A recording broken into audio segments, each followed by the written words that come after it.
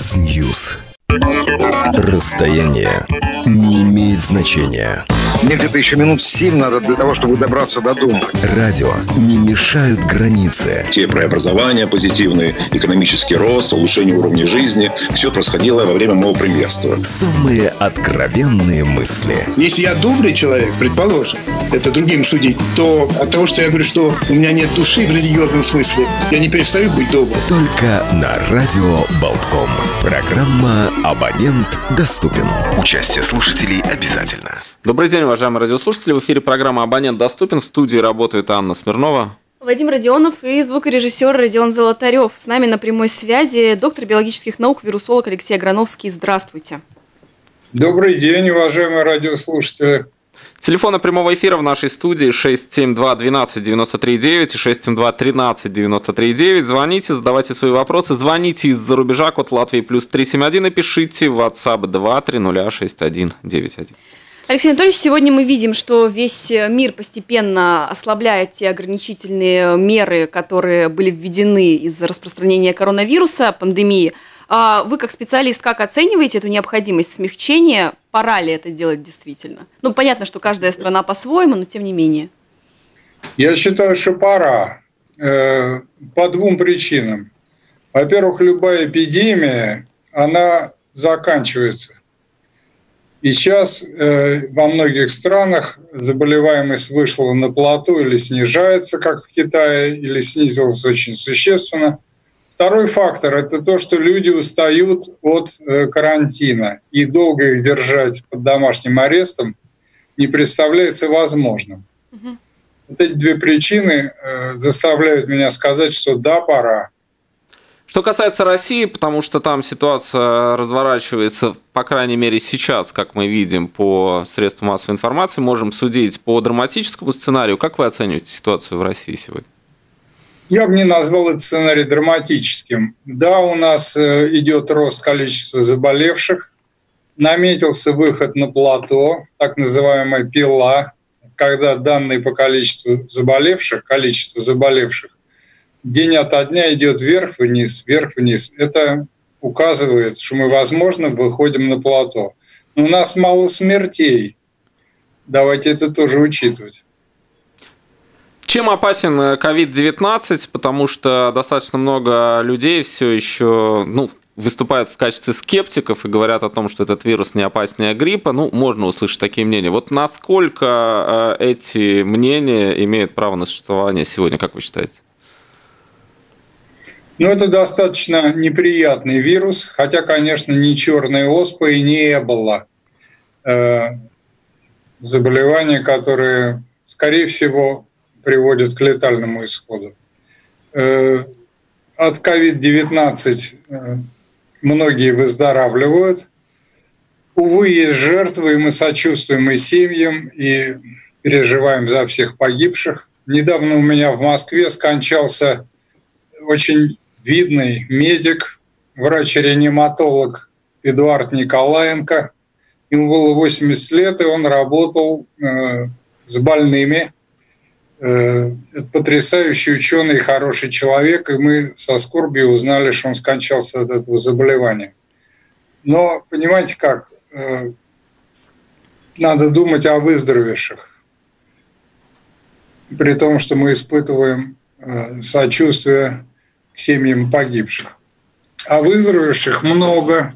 И э, если я скептически отношусь к коронаскептикам, то все-таки я э, скептически отношусь и к тем людям, которые находятся в состоянии паники.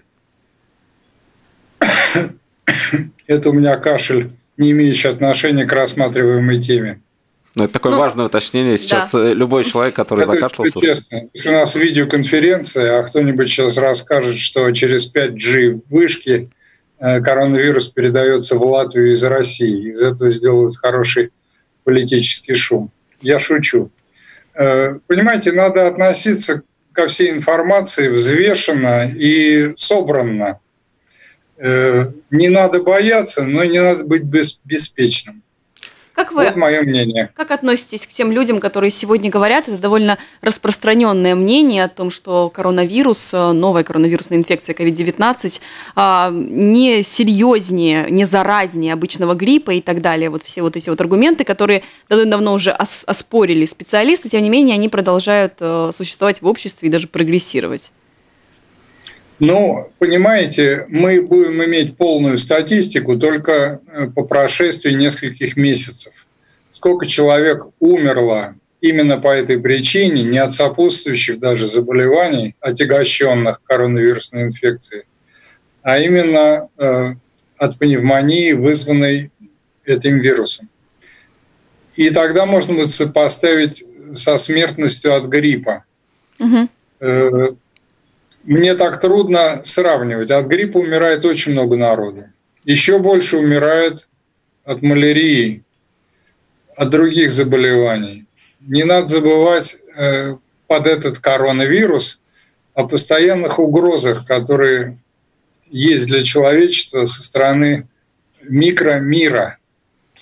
Это и э, вирус иммунодефицита человека. Он никуда не делся, хотя о нем сейчас мало пишут э, упомянутая малярия, другие заболевания. Есть арбовирусные лихорадки, э, передаваемые насекомыми. Это все опасные вещи, может быть, в ряде случаев не все, некоторые широко распространенные, как СПИД, а, скажем, вот эти лихорадки э, или вирус Эбола, они э, достаточно узкие географически, но при этом весьма опасные.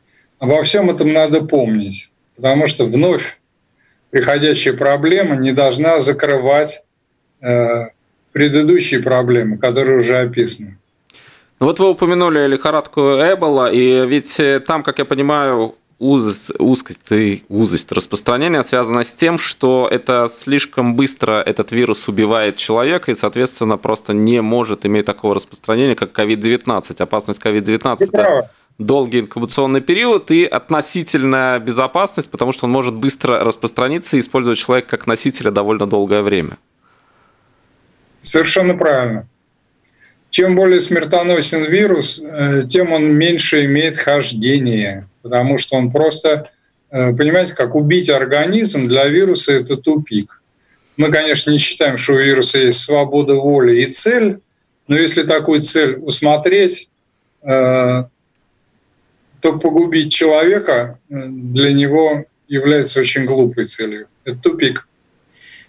Ну, невыгодно вирусу убивать своего носителя. То есть так можно сказать. Если у вируса есть выгода, то невыгодно. Что касается бессимптомных носителей, как мы знаем, их довольно много, по крайней мере, исходя из той информации, которую нам сообщает и Всемирная организация здравоохранения, и вирусологи-специалисты. А если у большинства, ну, у многих людей, а, скажу так, вирус протекает бессимптомно, значит ли это, что контролировать его распространение невозможно? Ну, почему же невозможно? Вот предпринимаемые в разных странах э, санитарные меры, они, ну, можно спорить об их эффективности, но я думаю, что они не бесполезны. Это маски, перчатки, э, ограничение контактов прежде всего. Опять же, вот это самая собранность. Не надо быть беспечным, когда пришла вот такая беда. Э, да, у, у нас, да, есть, есть звонок, примем звонок, слушаем вас, здравствуйте. Э, добрый день. Добрый. Да, Александр. Скажите, пожалуйста, вот как вы смотрите на то, чтобы рассматривать вот эту вот, так сказать, шумиху со всем этим коронавирусом э, в более широком плане? Грядет новый технический уклад. Вот, например, э, в Южной Корее 68 процентов, на 68 процентов уже автомобили собирают роботы. То есть вы представляете, какое количество людей становится просто лишним. И в существующей системе социально-экономических отношений И этих людей просто некуда пристроить. Да, задавайте вопрос, Александр. И вот, как вы думаете, соотнести вот этот вот, так сказать, коронавирус и все вокруг, э, вокруг шумиху вокруг него, и вот этим вот, так сказать, грядущим техническим укладом. Спасибо. Спасибо вам. Ну, э, тут сразу несколько вопросов. Я думаю, что технический прогресс никогда не сделает человека ненужным. И люди займутся просто другими вещами, не обязательно всем крутить гайки на сборочных комбинатах. Э, что касается коронавируса, он, несомненно, коронавирус и те вирусы, которые, несомненно, воспоследуют в другие годы, не на следующий год, я думаю, но инфекции еще будут. Это неизбежно влияет, конечно, на э, цивилизационный уклад во всех странах мира. Но не думаю, что он будет таким э, поворотным, я бы так выразился. Другие факторы влияют на э, занятость, структуру жизни, э, цифровизацию, не вирусные факторы, не болезни. Вам, как э, ученому-вирусологу, COVID-19 интересен? Есть что-то в нем такое, что может заинтриговать ученых, занимающихся профессиональным вирусом? Да, это очень интересный вирус. Э, вирусы делятся на две большие группы. Это интересные вирусы и неинтересные. Вот э, SARS-CoV-2 относится к первой группе. Он очень интересный. Чем? Ну, чтобы было нашим радиослушателям хоть что-то понятно, из специальных э, вещей я буду их избегать. Вот мы с вами, э, уважаемые радиослушатели, мы как бы большие объемы информации. Представьте себе, что вся наша информация записана в ДНК. Это такой hard disk, но, между прочим, у бактерий кишечной палочки или сальмонеллы геном тоже в виде hard disk а ДНК, если сравнить с компьютерным миром. Только это маленький hard disk. А вирус – это флешка. Это рибонуклеиновая кислота. В данном случае есть и ДНКовые вирусы, но мы их сейчас не рассматриваем. Э, в настоящее время самые опасные вирусы – это РНК содержащие. Итак, это флешки, небольшие объемы информации. Угу. Так вот, среди вот этих флешек самая объемная у коронавирусов. Э, и там есть много интересных функций, которые отсутствуют у других РНК, содержащих вирусов, принципиально новых и обнаруженных недавно.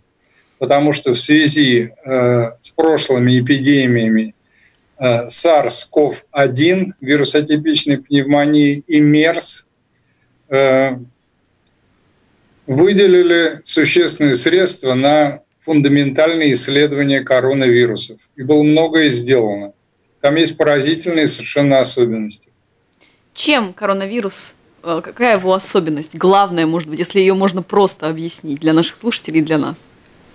Ну, э, очень большой объем этой флешки, очень большая РНК ставит проблемы точности копирования информации, потому что вирусные ферменты, которые умеют перезаписывать информацию, ну, то есть делать копии РНК, они, в принципе, довольно неточные ферменты. Так вот, у коронавирусов в связи с тем, что у него э, с, до 41 тысячи нуклеотидов э, длина вот этой рибонуклеиновой кислоты, которая содержится в частице с шипами, э, есть необходимость повысить точность. И для этого там есть активность, так называемая, вычитывание гранок. Э, то есть корректирующий такой фермент, который, если где-то не точно, не ту букву поставила случайно вирусная полимераза, он ее удаляет, и полимераза снова продолжает строительство новой цепи, исправляя ошибку. Вот это одна из самых таких поразительных особенностей, потому что активности вычитывания гранок есть в ДНК полимеразах. Э, например, таких, которые есть в моем организме, и я уверен, в организме уважаемых ведущих и всех радиослушателей. Это повышение точности копирования ДНК. Так вот, у коронавируса совершенно другой мир. Это РНКовый мир. Ни одного прецедента до недавнего времени не было, чтобы была такая активность. У коронавирусов есть. Можно ли говорить, что на этой флешке есть информация, подтверждающая естественное происхождение коронавируса? Можно.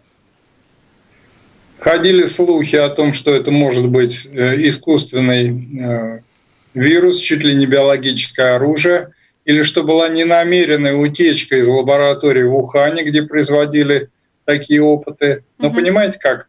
Представьте себе, что вирус – это информация не в виде флешки, а в виде книжки. И какую-то страницу вырвали и вклеили другую. И вирус приобрел новые свойства. Так вот нам, специалистам, эта склейка видна. Угу. Это либо клей, либо скотч. Но мы бы увидели. Так вот анализ э, близких коронавирусных геномов и этого генома SARS-CoV-2 достаточно убедительно показывает, что этот вирус естественный. А, когда мы говорим о вирусах, э, и понятно, что, наверное, задавать э, вопросы о смысле их появления, все, что относится к природе, они не имеют смысла, простите за тавтологию, но тем не менее, э, есть ли объяснение того, для чего природе нужны вирусы, для чего эволюции нужны вирусы, то есть для чего они вообще появились на Земле, в чем цель их создания? Ну, э, опять-таки, если у природы цель, проще всего это объяснить было бы актом креационизма, создания. Но если мы рассматриваем с точки зрения эволюции э, появления вирусов, то тоже можно ну, некие гипотезы сформулировать. Хотя они не будут особенно крепко на чем-то основаны. Потому что эволюция такая штука, что никто из нас там свечку не держал. Э, ну, например, что могло бы быть? Э, вообще был, может быть, когда-то в самом начале древний как раз РНКовый мир, из которого произошли ДНК-содержащие клеточные организмы.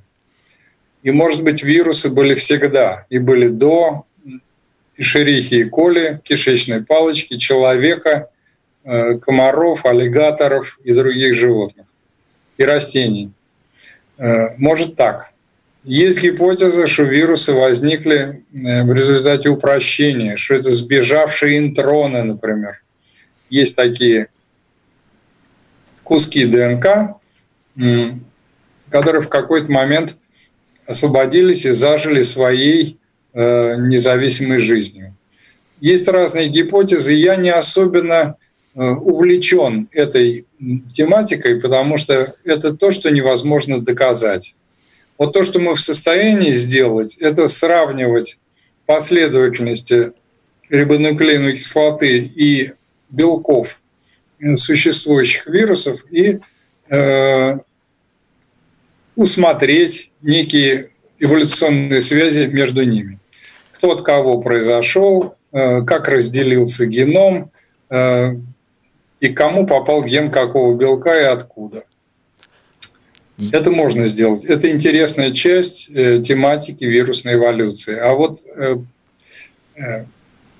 неизбежно будут умозрительными все рассуждения о том, откуда вирусы взялись.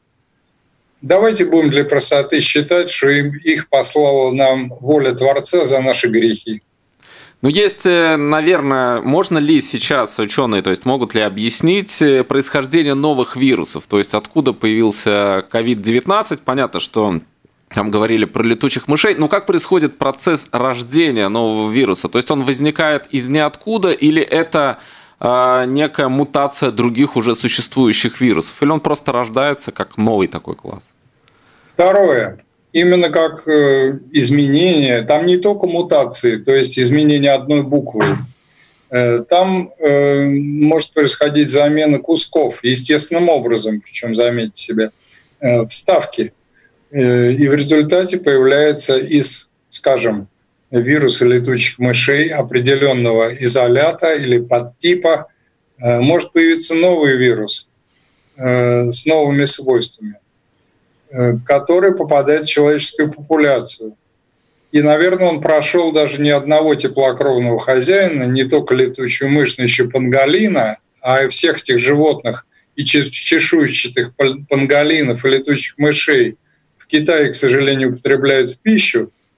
Э, зверская и безобразная привычка, потому что с природой надо обращаться в перчатках. Э, а там все, всех этих животных держали на рынке, в клетках. И, возможно, прошедший через э, одного или двух хозяев коронавирус отмутировал таким образом, что он был готов к заражению человеческой популяции. И через, скажем, помет животных, пыль, экскременты, кожу, частицы кожи, скажем, летучих мышей он попадает на больного номер ноль. И, увы, пациент. эпидемия начала свой марш. А Говоря... нулевой пациент, э, вот это такой вопрос, который очень часто поднимают в художественных фильмах. Я подчеркну, например, есть фильм «Эпидемия» с Дастином Хоффманом, а есть фильм «Заражение» Содерберг, который многие посмотрели в связи с пандемией COVID-19.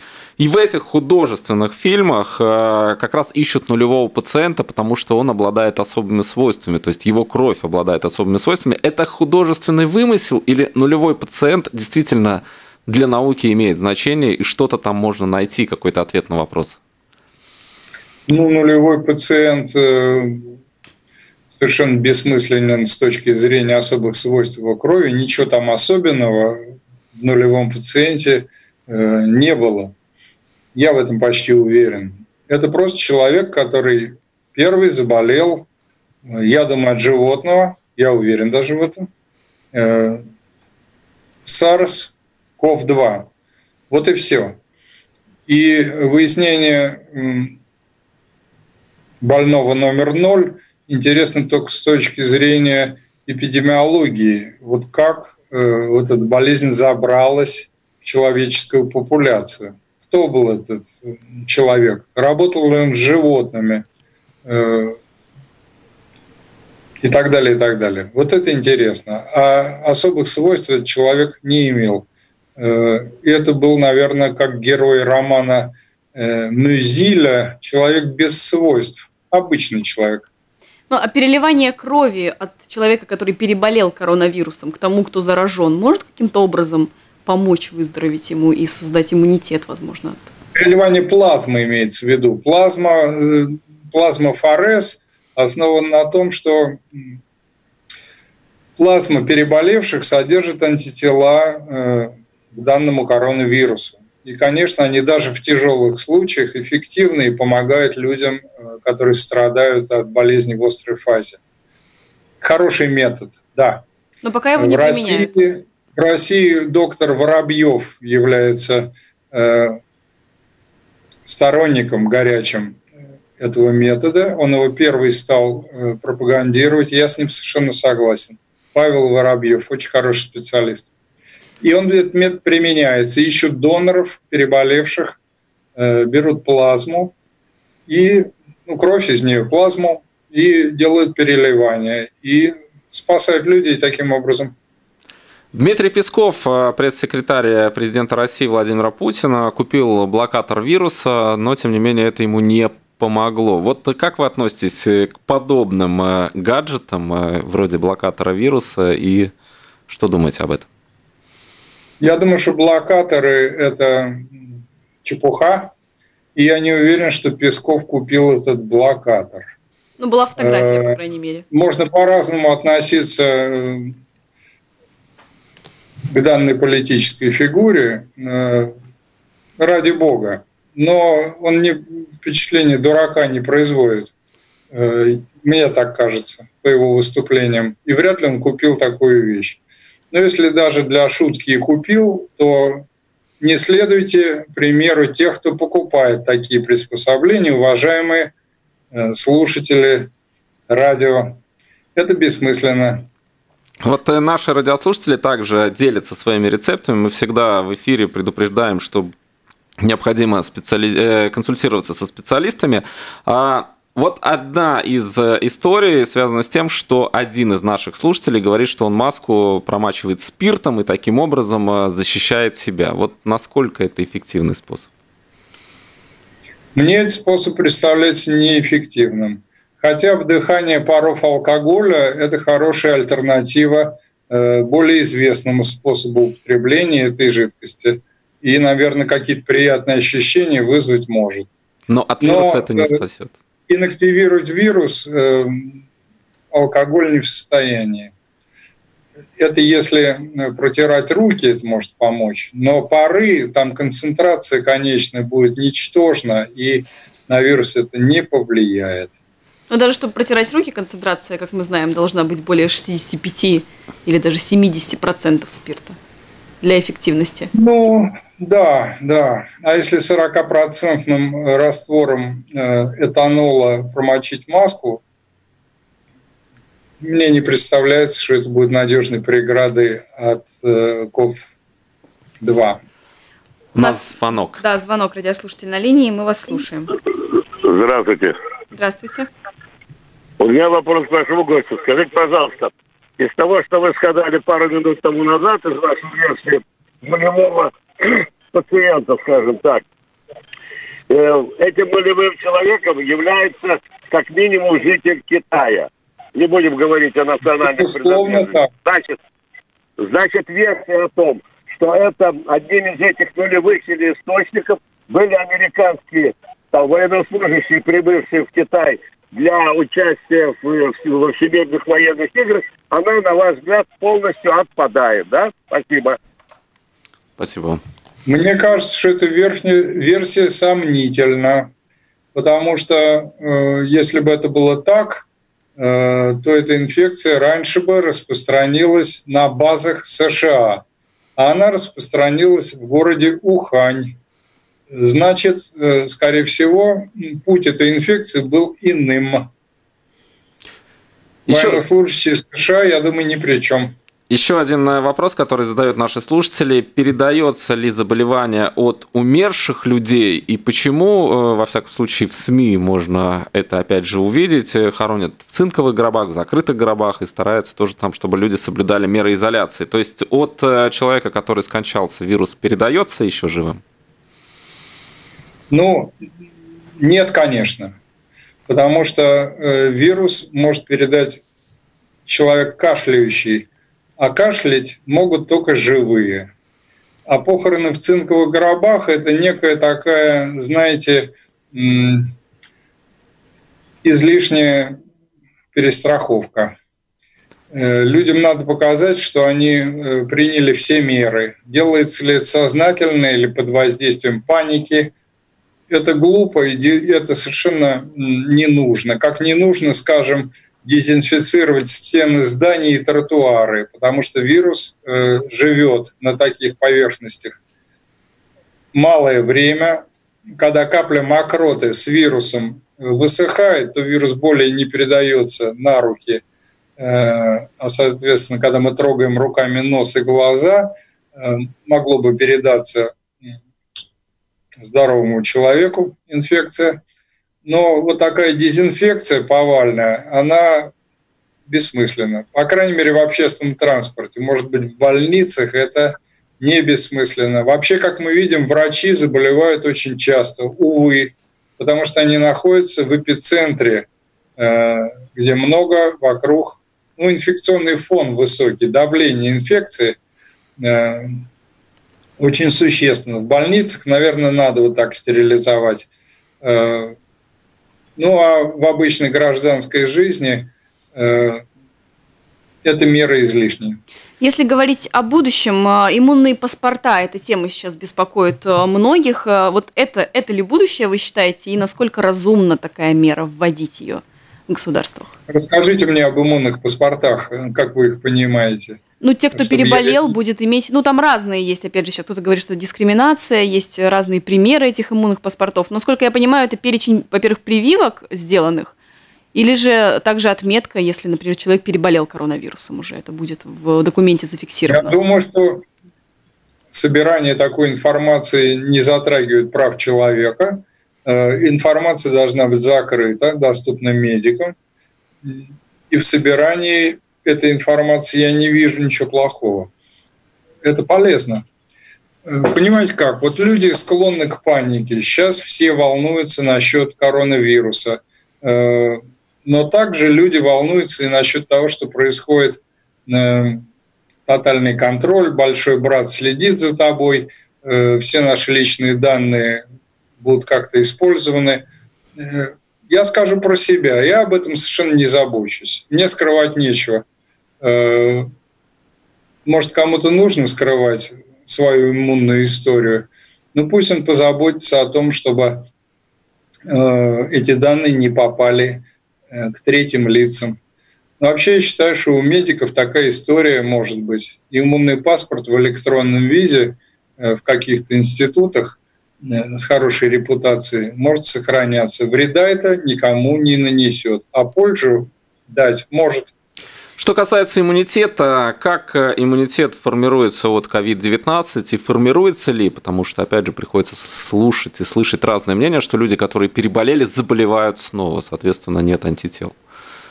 Что известно? Я бы с осторожностью э, трактовал доступные данные, потому что просто прошло слишком мало времени.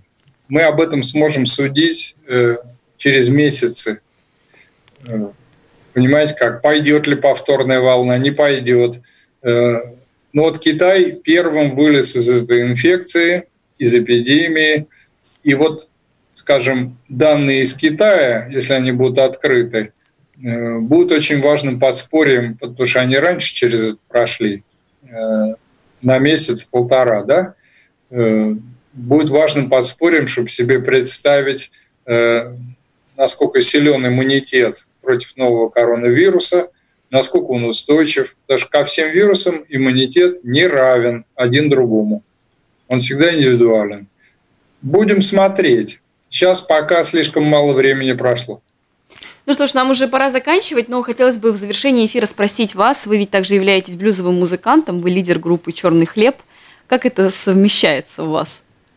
Да вы знаете как, э, это просто осторожность. Если ко мне не будет спешить Нобелевская премия, то я тогда замахнусь на Грэмми. Это, по-моему, вполне такой э, разумный шаг в моей жизни. А если серьезнее говорить, то это занимает просто разные части дня, э, день и вечер. И человек способен сделать гораздо больше, э, чем он порой думает. Некоторые люди приходят с работы и говорят, как же я устал. Ну а некоторые люди работают больше.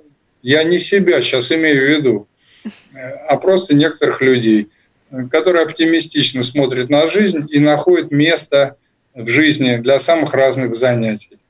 Ну, я только маленькое уточнение сделаю, что группа «Черный хлеб», к сожалению, э, сейчас не собирается или собирается совсем редко. Uh-huh. У меня новая группа, которая называется Blues Spinners. Это блюзовые рассказчики, можно так перевести для русскоговорящих слушателей. Мне очень нравится эта группа, и я получаю огромное удовольствие от этой деятельности сравнимое с молекулярной вирусологией. То есть блюз и наука идут где-то рядом в плане эмоций, которые они вызывают. По крайней мере, они не мешают друг другу. Я не чувствую, чтобы мешали. Ну что ж, э, ваше выступление можно найти в Ютубе. Спасибо вам большое, что нашли время и вышли в прямой эфир программы «Абонент доступен». Алексей Аграновский, доктор биологических Спасибо. наук, э, Спасибо, вирусолог, музыкант был с нами на прямой связи. Спасибо вам, всего доброго и до свидания. Здоровья всем радиослушателям, берегите себя и старших родных.